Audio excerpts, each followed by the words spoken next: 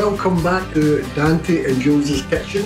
We're going to come up with another new recipe. Parmigiana di melanzane. You can get it anywhere in Italy now, but it is a southern dish. You can get it in the kiln.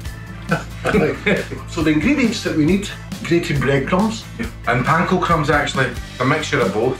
whisk two eggs, plain flour, aubergines, shredded mozzarella, parmesan cheese, the best buffalo mozzarella cheese. Just a plain sort of Napoli sauce. So yeah, that's everything. Make the, the aubergine into little sheets and you cut all the way through. So what we're going to show you now is how to dress it. Our flour, our egg, our breadcrumb. We dip it in like this. Did you take a bite of that? No, I did not. And then I let that shallow fry for maybe three or four minutes each side. It's lovely and crisp when you hear that. That's the panko crumbs. Yeah, you.